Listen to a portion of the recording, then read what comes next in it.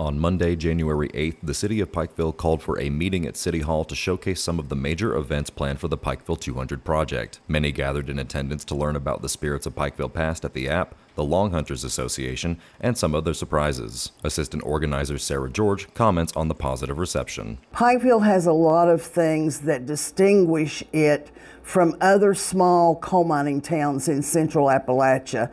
And I think it really is the financial and healthcare and education and entrepreneurship hub of Eastern Kentucky. And I think people are always looking for ways to brag on Pikeville, if you will.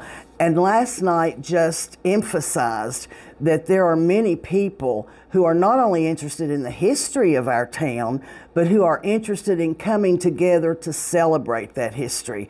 There are 70 chairs in that room, and we had standing room only, so I didn't count how many people were there, but I was really, really just thrilled with the response.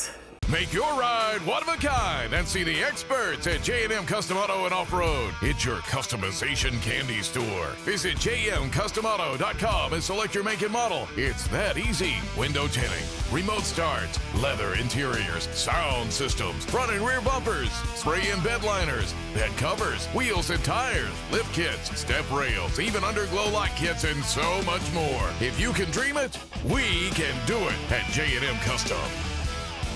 Pikeville's story is made up of many smaller stories that come together. Because of this, George is asking that all Pike County authors lend a hand to the experience.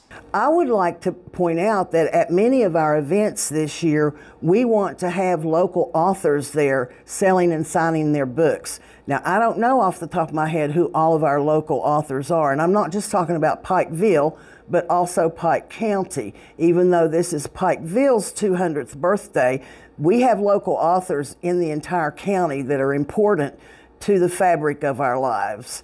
And I would like for any local author who is interested in participating in one or more of these book sellings and book signings to contact us. You can contact us on our Facebook page. You can contact me on my Facebook page.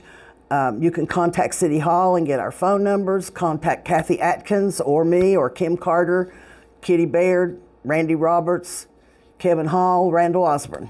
Reporting for Mountaintop News, I'm Nick Collum.